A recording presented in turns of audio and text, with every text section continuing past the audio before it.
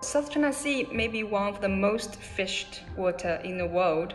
It also is one of the most difficult ones to navigate because of the complex maritime borders, different opinions from different governments who owns what, who has the power of regulating where, and for people who, for generations of time, sharing this heritage, sharing these rich resources, they now end up being in the front line of fights.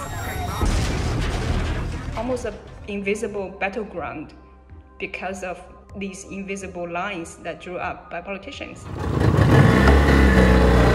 We would like to tell the story of these conflicts from these fishermen's point of view. So we teamed up with journalists from the region who then talked to fishers who actually have these kind of experiences. It's actually really cool. You know, before globalization hit, like they are international neighbors. You know, we talked to fishermen who remembered back in the day where they talked to each other on the sea, they exchange secrets, they exchange catch. It doesn't have to be about fight. And if you look at the people we interview, you really see more similarities than differences. And if, if you read into their stories, you even realize more how much they want similar things.